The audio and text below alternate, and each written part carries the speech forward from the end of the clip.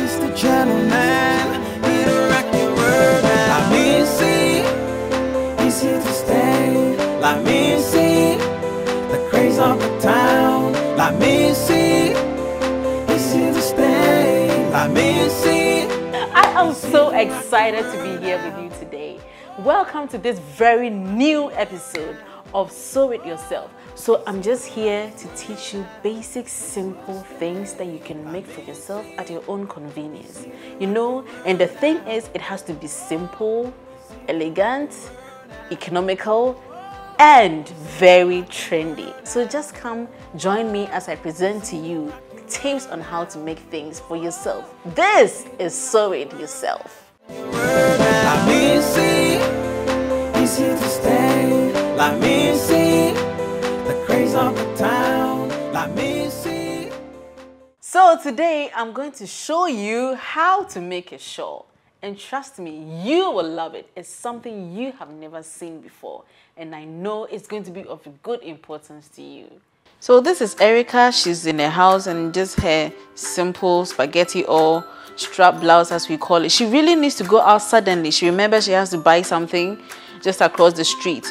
She picks up a cloth and just looks at it. There's a zip in it. She unzips it and puts it on. So she just wears it and then she goes out in it. She's good to go.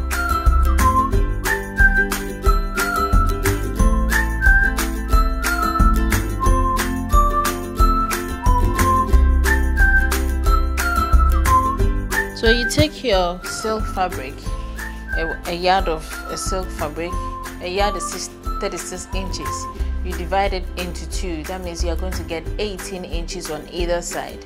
After getting the 18 inches, it's simple. You will measure 18 inches in the middle. You leave that out, and then from the 18 inches, you sew it to the end and to the end of the other side. The space there, which is the 18 inches, you put your zip on there. You are going to fold on each side the four corners of a quarter yard of both of them. You will sew, after sewing, you will join them together.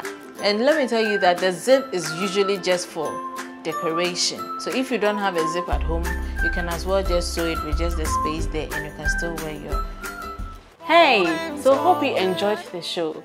I have more interesting things to show you in the coming episodes of Sew It Yourself. Don't miss me. Bye.